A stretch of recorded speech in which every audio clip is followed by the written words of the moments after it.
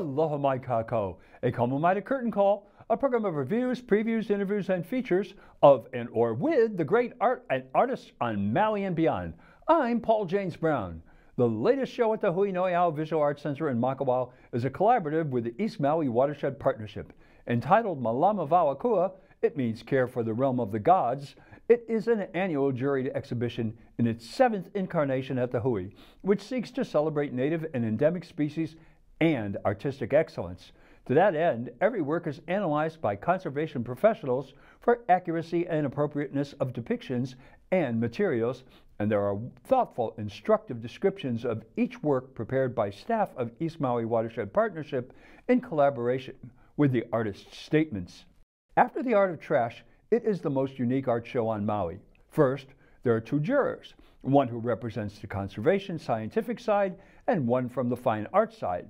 Then, the show has students from all three educational levels as well as adults. And there are a total of 10 awards in addition to the State Foundation on Culture and the Arts Recognition Award, which means these works may join the most prestigious art collection in the state. This year, a total of 117 multimedia works representing 74 unique species were contributed by 96 artists, 40 adults, 15 high school students, 14 middle schoolers, and 27 elementary students. The jurors were Gabrielle Anderman, one of our most distinguished fine artists. Since she arrived in 2008, she has been on an impressive evolutionary journey.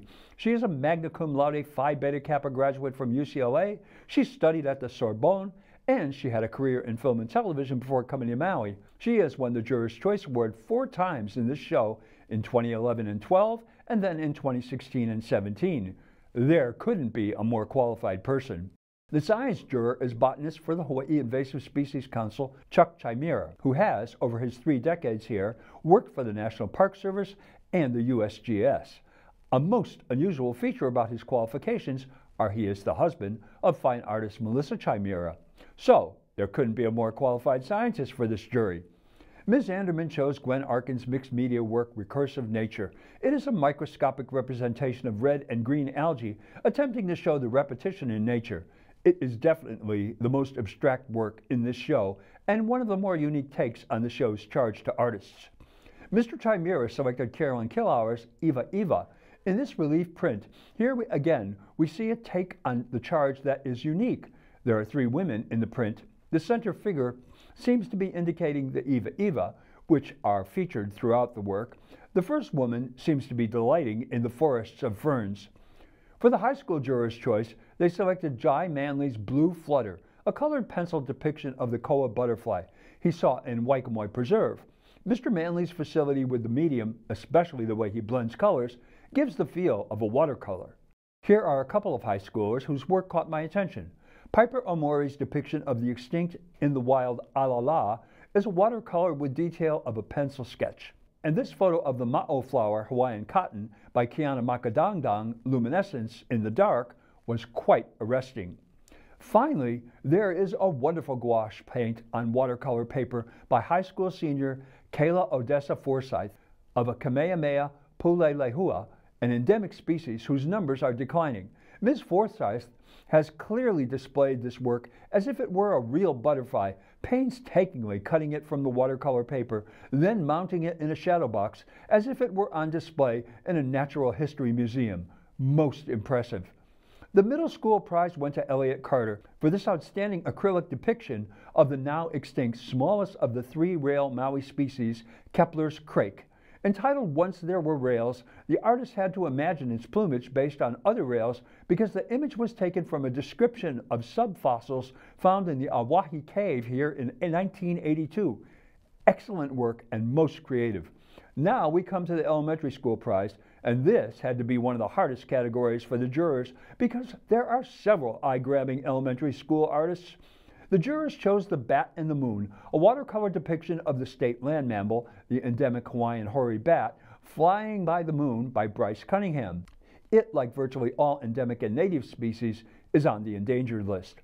Here are a few other elementary works that caught my eye. Noah Reynolds' acrylic of Ko'oloaula, this creatively inventive paint pastel marker rainbow monk seal by Camille Richards, and these two depictions of the koa bug by Luke Tanaka and Talia Tonu. Zach Pizzillo seems to win the Conservation Professional Award every year. Here is his photo of the fruit of the mamane. He has created a technique where his shooting in the wild looks like it was done in a studio.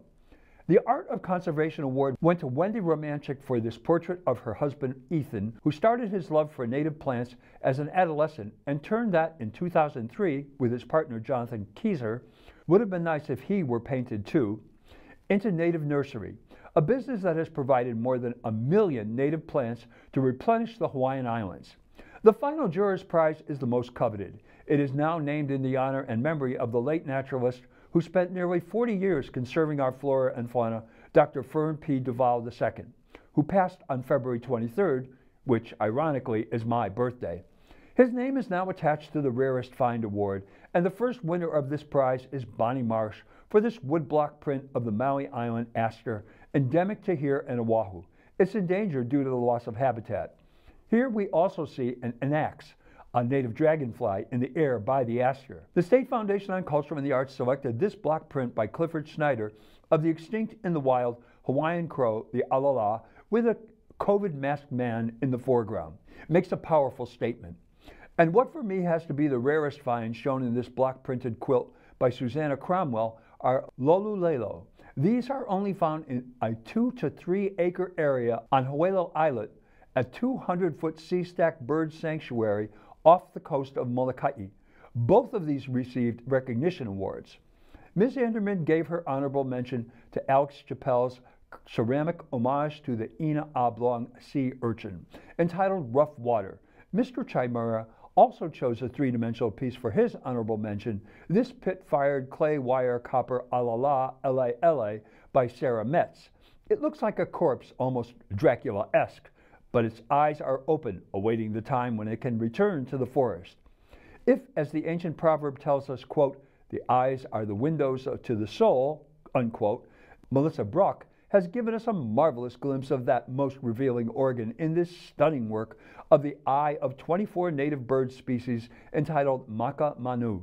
What are those eyes saying? Here is another impressive work about eyes, but this time it's an aluminum print by Jenna Zerlag of the eye of the he'e, the Hawaiian day octopus. Cassie Polly creates photos that look like paintings. It's hard to believe this is a photo of an ʻiʻiwi in full flight. Entitled Time to Go, it looks like it is in motion, even though it is a still image. She is so talented. Elika'a Tully, the sister in law of the former Hui staffer and now head of philanthropy on Maui for the Hawaii Community Foundation, Inger Tully, and is also the mom of the high school prize winner Jai Manley, has done Ho'olohe, listening, a lovely watercolor and resin vision of a woman as a protector of the endemic ohia tree. She listens to and cares for all the voices of Waikamoi Preserve. Pat Billy mounted actual loulu, our only native palm, to come up with this most creative and beautiful piece. There are many, many more notable works in this show, such as Jennifer Valenzuela's Pomaikai, Eve Adams, Malavau Akua, Prayer Flags, and middle schooler Jackson Warren's amazing clay Evie, to name a few. But don't take my word for it. Go see for yourself. The Hui Noeau is open Wednesday to Saturday, 9 a.m. to 4 p.m., 2841 Baldwin Avenue in Makawao. This exhibit is open till November 4th. Mahalo to Josephine Bergil, Gentile and Roberta Ann Wiesenberg for doing such a fine job of installing this huge and complex exhibition. Well, that's Curtain Call for this week. Mahalo nui loa for tuning in. I'm Paul James Brown. Ahui ho!